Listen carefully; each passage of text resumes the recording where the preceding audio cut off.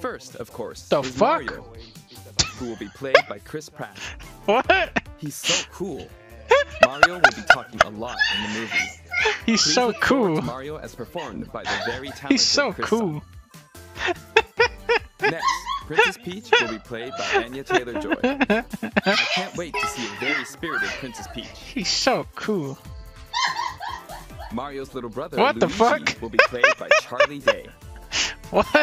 I'm excited for you to see this timid He's so funny. on screen.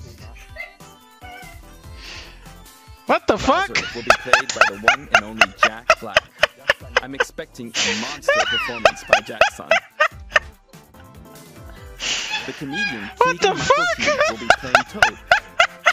I'm looking forward to great comedic moments. Even though this is a Mario movie, Donkey Kong will also be making an appearance. He will be played by Seth